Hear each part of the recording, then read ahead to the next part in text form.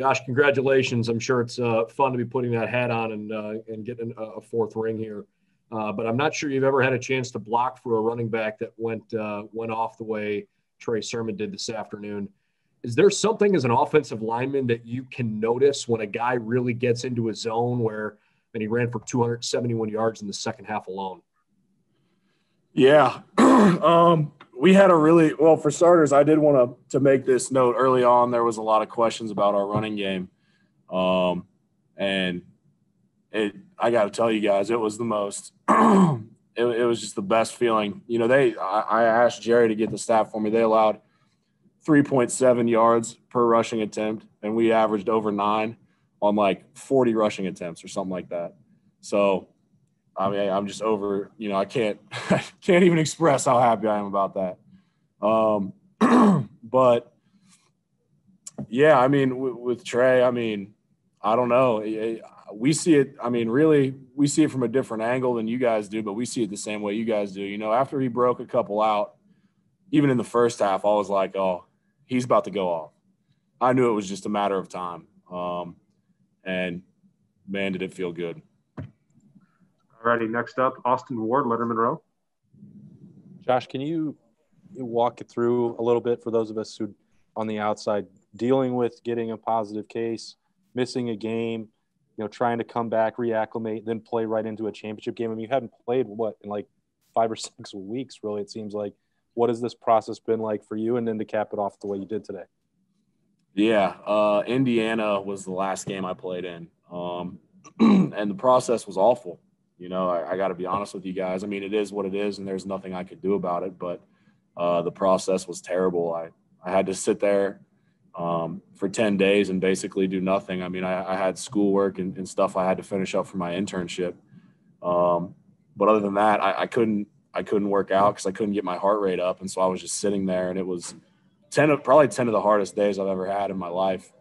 Um, and you know, with the with the Michigan State game, um, I, I, was super, just so proud and so happy for our guys on the offensive line who, who stepped up to the plate and the way they stepped up to the plate. But, you know, sitting there watching your own team play when you have so much invested into it too, um, it's, it's awful. I, I don't, I don't have any other way to put it. You know, when you invest so much and you sacrifice so much for something and then you have to sit out, it's hard to put into words how bad it is. All right, we'll do two more because we got Justin Hilliard ready for you. So we'll, let's go to Jared Smalley. Josh, just how big a difference does it make to have the five, the the band back together again? And how did that evolve through the game? Did you notice a pattern where, you know, maybe early on it's there's there's some communication issues, and then later on it's it gets smooth? Yeah, uh, there was a lot of things that went went into it. You know, it was, I mean, it was awesome getting back out there and getting to play with the boys again.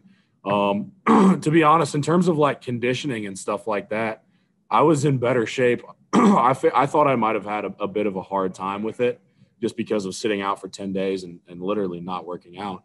Um, I, I thought I figured I was going to be pretty tired at the end of this game, and I was, but not how I thought I was going to be. So, so that was good, and it seemed like it was the same way for for Nick and Thayer.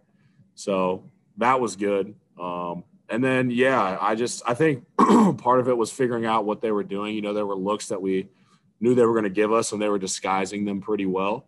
Um, and they were moving a lot right before the snap, trying to disguise what they were doing. Um, and, and once we kind of figured them out, then we were able to you know bust some big runs open.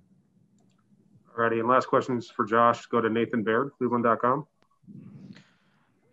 And Josh, you know what you were just saying about your own um, situation with the virus. I mean, then what do you? What's kind of your re- emotional reaction this week when you see other players starting to to deal with that? Maybe especially Chris Olave, who who came back from you know uh, was so motivated to come back this season and kind of be here for moments like this. Yeah, I mean, it just breaks your heart for guys like that. You know, I, I kind of I talked to the team about it um, before the game when we were in the in the huddle, I was just like, you know, one of the things that we had talked about is how, you know, one of the things that has gotten brought up a lot this season has been how things get taken away from you in life at times and how it can be really hard. Um, and I said, you know, I was like, this season, you know, it's everything. It's so many things have gotten taken away from us. And the point I was trying to make was that so many things have gotten taken away from us, but we're still here. Um, and then I was just talking about, you know, the brotherhood and the love that we have for each other. And I, I was like, you know, just keep Chris Olave, you know, Baron Browning, some of the guys that couldn't be here, keep those guys in your hearts because I'm telling you, it was, I know it, it was awful. I know, I know what he's going through right now. And he, it's even worse for him because this is a Big Ten championship game. Um, you know, I, I only missed one game. Um, so I can only imagine how bad he's hurting right now, you know, wanting to be with us and wanting to experience this with us. So, um, you know, God, feel so bad for those guys.